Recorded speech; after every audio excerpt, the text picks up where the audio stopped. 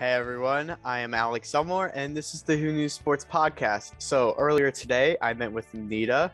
She is the athletics administrative assistant at the University of Missouri St. Louis, UMSL, and uh, so it was really interesting uh, talking to her. You know, me and her went to the same high school, and you know, she just completed the sport management program at UMSL, and I am in it right now. So we got to share a lot of different experiences that we had and a lot of similarities that we went through and it was just an overall fun conversation I had with her. She has a different, she kind of has a different perspective within sports as well, and I think you guys will uh, see what I'm talking about with that. But all in all, great conversation, and I think you guys will really enjoy this. So please listen. See ya. So Anida, how are you? Good. Thanks. How are you? I'm doing pretty good. So I guess uh, kind of getting started off. Tell me a little bit about what you do you know, just at UMSL and what you did with the uh, UMSL Sport Management Program. Sure. So currently, I'm getting my MBA um, with the emphasis in finance, and I also work in athletics as the administrative assistant. So basically, deal with a lot of finance and just trying to keep everything together. Um, during my undergrad, I started off as a crim major, decided it really wasn't for me. So I went to sports management because I just really like sports and I wanted to do something with it. Um, I had two internships, one with the basketball team and then just UMSL athletics in general. So, oh, so uh, I didn't know you could do like one with an individual sport at UMSL. What'd you do with the basketball team? So I was actually with the basketball team for three years. Um, oh. Basically everything um, from making sure practices were all set up and game days were all ready to go to making sure everything was ordered and kind of in between. Okay. So um with when you did your uh internship at um for UMSL Athletics, does did you work on any projects there or what what else? Yeah, so I mainly did um kind of like the live stats production. That's kind of what I mainly did, but I also did like some marketing. I know like I made some flyers mm-hmm. for games and um before games and post games.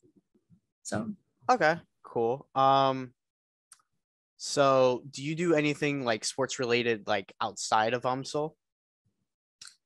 I mean, I dance. I've okay. been dancing. I don't really play sports as much though. I feel like I kind of grew out of it, but dance I still do. So yeah. So for those who don't know, um, who are listening, uh, me and An- Anida went to the same high school. You played uh, you played uh, uh, what was it? Did you play volleyball there? I did. Okay, that's right.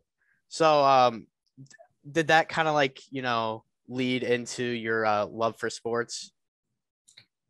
Honestly, yeah. I think it was basketball though. Growing up, my brother and I we had a basketball hoop on our garage, and we would always play um, with his friend and my friend. And growing up with guys, um, cousins, and my brother, um, all they wanted to do was just play sports. So I just kind of grew into it.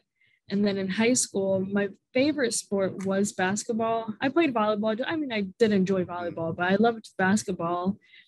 Um, I had hoped to play in college, hmm. but I ended up having knee surgery. So that kind of threw it away from me. Yeah. And um, I still wanted to be involved in everything. And I had some of the players in my class and they told me, you know, hey, we have a spot open to be a basketball manager. And I was like, yeah, why not? So yeah. That's that's great. Uh by any yeah. chance, who is your was it Mr. Bab? Is that was that your coach then? No, Robards. Oh, Robards. Okay. Robards. Yeah. yeah. Cool. He's still there, by the way. He's awesome. oh yeah, I love him. Mm. um, let's see.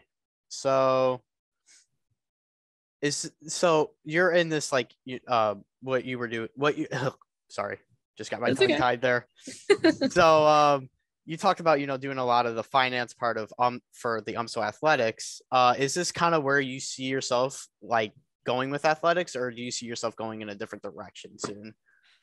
That's a good question. Mm-hmm. honestly i still don't know I want to say until I finish my master's, I will continue being here. But after that, I plan on moving to Europe. So I don't, I don't think I'll be okay. with athletics anymore, but definitely in like the finance department. Okay, cool. Or do you have anything like specifically that you're thinking about in Europe that you have an idea? Of where I'm going to move. Oh, no, not like not move, but like what you want to do exactly. Not really. Okay. And anything with finance. Yeah. Okay. Cool. Um, let's see. So, kind of going back with the uh, sport management program, you were I you were one of the first people to complete it, right? Yeah. Yeah. Um, tell me like a little bit like about how how it like how it was being one of the first people in that group to graduate uh, with a sport management degree from UMSL. And you know, tell me a little bit about all the player, uh, not players, all the uh, students that you graduated with and how they felt about it. So I was a little nervous, but honestly, I felt pretty good about it. Dr. Baleska, she's great. And Mhm. um, I know like there were a lot of things that they were still trying to work on. So I was kind of like a test dummy. Right. Um, I like to think of it like that. Uh, Dr. Bleska really helped me out with a lot of things um, when it came to the internships. Since you, we were supposed to have two and it was like 300 hours, and I was still with the basketball team, she allowed me to use that as part of my internship, which honestly really kind of made me look at it differently because instead of kind of doing my everyday task, I actually had to think about what I was doing and um, I'm having a break part. but basically kind of like what I'm doing with the team and like Mhm. how it's going to help me with my future. So um that definitely helped out, I should say. Mm. As for my classmates, they honestly they felt the same way. They Mm. really enjoyed the program. They loved Dr. Baleska. She has just been super helpful and she really cared about us and making Mhm. sure that we are looking for jobs, you know, once we graduate.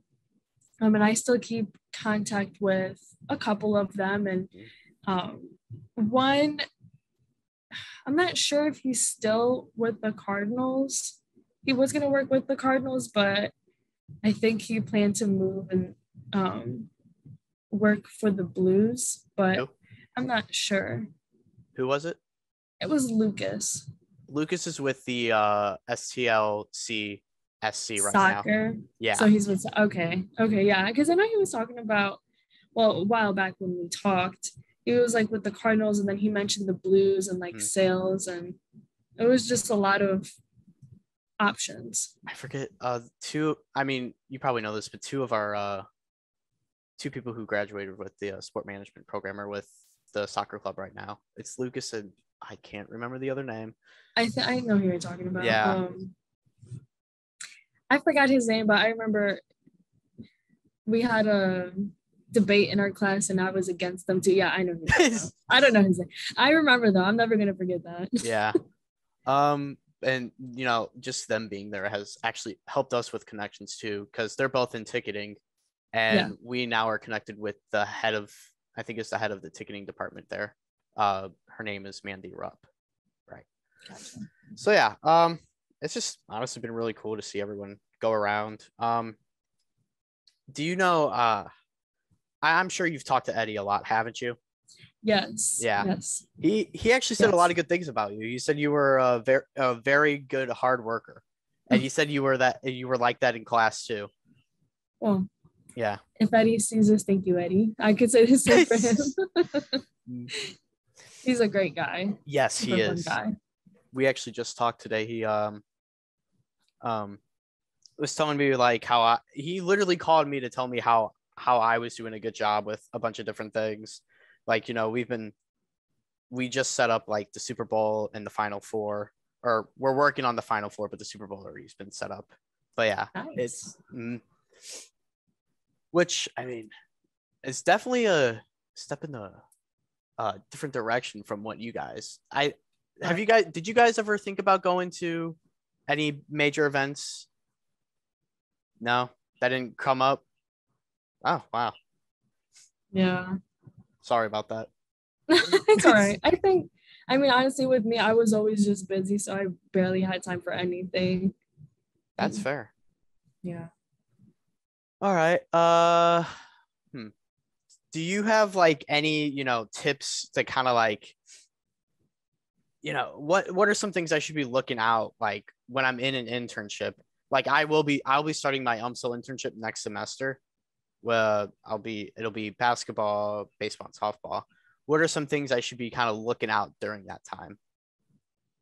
Definitely. Well, I would say with any internship that you get, just kind of anything, Hmm. always network, always reach out, always talk to anybody that you can, meet anybody that you can, just form those connections because those connections come a long way. Like with my job now, um, Lori, our athletic director, she actually reached out to the head coach and she was talking with Bob and she's like, Hey, you know, what's Anida up to? And, and you know, would she be interested in this position? And it was honestly, I think I got this job because I was with the team and that's just kind of how she knew me. I was always here every day. And that's so that's what I would say. Definitely network because you never know when that will come in handy.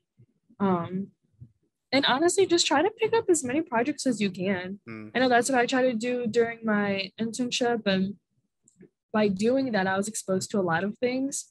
So with the flyers that I was making, uh, usually they don't really tell interns to do that. Uh, but I needed, of course, more hours. Right. And so I was like, you know, what else can I do? And I remember I was doing that for the basketball team. So I was like, hey, you know, I could do this for you guys too. And um, Marianne at the time, when she was working here, she kind of even gave me some tips and tricks on how to change it up a little bit and to make it better. And it just kind of worked out. So you never know what you can Yeah. learn. So I've we were we were looking. Me, Jacob Vogel, and Hannah Carl are uh, doing the uh, internship coming up, and we kind of noticed, you know, it is it is kind of hard to get all your hours in at the UMSL internship. So Yeah. I I have this idea. I want to run this past you real quick. Okay, and see if you like it. So let's hear it. I was during the soccer games this year when I was uh, volunteering. I noticed that we had a terrible sound system at the press box. Do you, you kind of you hear that Yeah. all the time? I agree. I agree. Yeah. So my idea was, you know, we could set up a fundraiser, kind of like a fun event. Um, my my idea was a movie night, kind of like a five dollar admission. You know, raise money to have a better sound system on the field.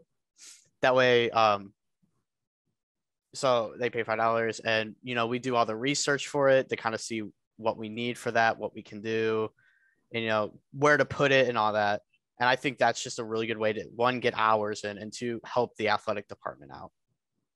I think that's great. I Yeah. think that's a good idea. Mm. Um, I would say the only thing is where would the movie night be? Right. And still with the whole COVID, I know we still have to watch Mhm. out and you know keep our distance and masks on and everything. But other than that, I think it's a great idea. As long as you have a plan and Mhm. you know really kind of go through every single step, you know, like what could go wrong and if it goes wrong, okay, how can we fix it and kind of look at everything. But I think it's a good idea. Okay.